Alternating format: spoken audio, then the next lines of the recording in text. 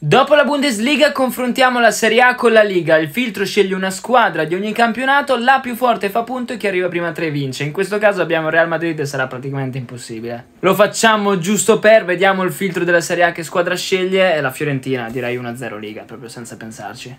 Quindi partiamo in svantaggio proprio come con la Bundesliga, vediamo Atletico Madrid, ragazzi, allora è impossibile. E noi rispondiamo con il Napoli. Attenzione, quest'anno direi che l'Atletico Madrid forse sulla carta sì è più forte, però 1-1. La Liga risponde con il Getafe, qua possiamo fare punto. Abbiamo la possibilità di portarci in vantaggio con la Lazio, direi di sì. 2-1 Serie A, abbiamo ribaltato. Abbiamo il match point 2-1 per noi, ma per la Liga c'è il Siviglia. E noi rispondiamo con la Salernitana 2-2. E ora c'è il rigore decisivo, la più forte porta a casa il trofeo, il Villarreal sarà dura.